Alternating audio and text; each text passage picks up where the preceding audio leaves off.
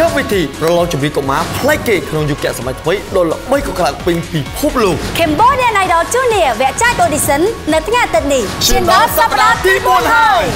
នៅក្នុងថ្នាក់មិនមែនតែខ្ញុំធំទេគឺទៅធំហេពូអត់មានតន់ថាធំណា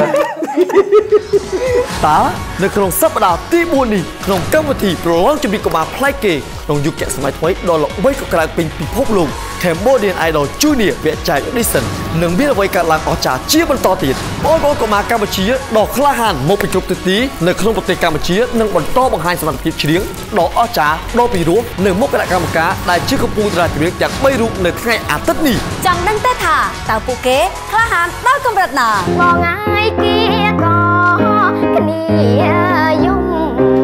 ចង់ដឹងទៀតថាតើពួកគេគោលគណៈកម្មការដល់កម្រិតណាដូចជាមួយគេង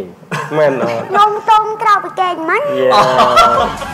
ចង់ដឹងទេថាតើពួកគេអាចយកចេះ3ពីគណៈកម្មការទាំង3រូបបានឬអត់រងចាំទស្សនាផ្ទាល់ភ្នែកស្ដាប់ផ្ទាល់ត្រចៀកនិងមានផ្សាយជូនទស្សនានៅលើកញ្ចក់ទូរទស្សន៍ហងមី HD TV រៀងរាល់ថ្ងៃអាទិត្យចាប់ពីម៉ោង6ល្ងាចរហូតដល់ម៉ោង8យប់កម្មវិធី Cambodian Idol Junior វគ្គចែក audition សប្តាហ៍ទី4ឧបត្ថម្ភផ្ដាច់មកដោយ Vivo V17 Pro ថតឥតដានកំណត់កាមេរ៉ា6គ្រាប់ថតរូបល្អឥតខ្ចោះ